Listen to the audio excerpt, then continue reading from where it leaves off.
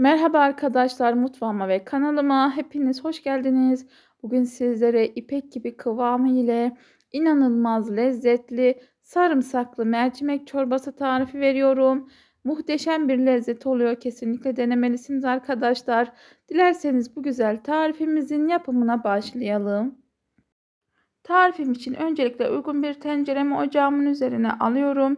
İçerisine yarım çay bardağından biraz eksik sıvı yağ ekliyorum. Daha sonra yemeklik doğramış olduğum bir adet soğanımı da ilave ettikten sonra soğanım güzelce kavrulana kadar yağımla soğanımı kavuruyorum arkadaşlar. 1-2 dakika soğan kavrulduktan sonra içerisine bol su ile güzelce yıkamış olduğum 1,5 su bardağı kırmızı mercimeğimi ilave ediyorum. Mercimeğimi ilave ettikten sonra da tekrar bir dakika daha kavurmaya devam ediyorum. Mercimek de güzelce kavrulduktan sonra içerisine 1,5 litre su ilave ediyorum. Daha sonra tenceremi kapağını kapatıyorum ve bu şekilde kaynamaya bırakıyorum. Çorbam kaynamaya başladıktan sonra kapağını açıyorum. Taşmaması için arkadaşlar kapağı kapalı olursa çorbamız taşabilir. E, kapağı açık şekilde kaynamaya başladıktan sonra 10 dakika daha kaynamaya devam ediyor. E, kaynadıkça suyunu çekiyor. E, suyunu çektikten sonra içerisine bir su bardağı kadar daha su ilave ediyorum. Daha sonra bir çay kaşığı zerdeçalımı ilave ediyorum. Bir tatlı kaşığı tuzumu da ilave ettikten sonra tekrar güzelce karıştırıyorum. İlave etmiş olduğum malzemeleri ve çorbamı tekrardan kaynamaya bırakıyorum. Tarifimde kullanmış olduğum malzemeleri açıklamalar kısmına ekliyorum arkadaşlar. Dilerseniz oradan da faydalanabilirsiniz. Çorbam tekrardan kaynamaya başladı. Yine bir iki dakika daha kaynattıktan sonra blenderımın düşük devrinde e, çorbamı pürüzsüz bir kıvam alana kadar blenderımdan geçiriyorum arkadaşlar ipek gibi bir kıvamı olması gerekiyor. Pürüzsüz bir kıvamı olması gerekiyor çorbamızın. Blender'dan güzelce çektikten sonra tekrar kaynamaya devam ediyor çorbam. Çorbamı hemen ocağımın arka kısmına alıyorum ve üzerine sarımsaklı, naneli bir e, tereyağlı sos hazırlıyorum. Tereyağı tamamen eridikten sonra içerisine önceden e, soymuş ve ezmiş olduğum 2 diş sarımsağımı ilave ediyorum.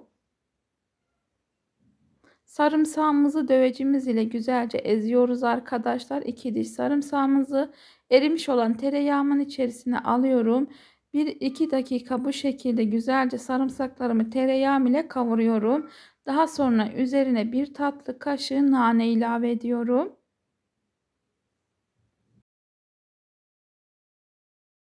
Naneyi de tekrar kavurmaya devam ediyorum.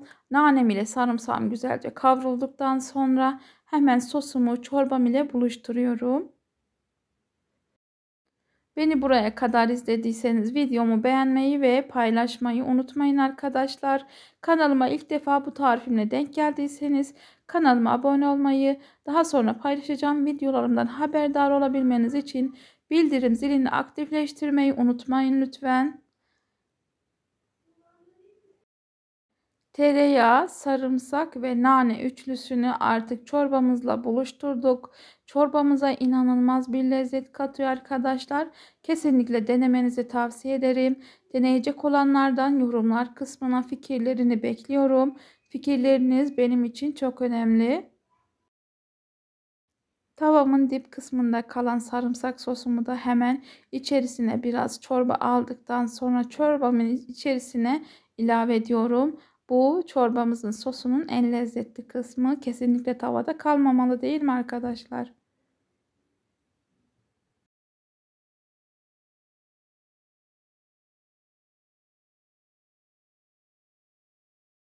Artık çorbamız hazır. Hemen bir servis tabağımın içerisine alıyorum ve son halini sizlere de göstermek istiyorum.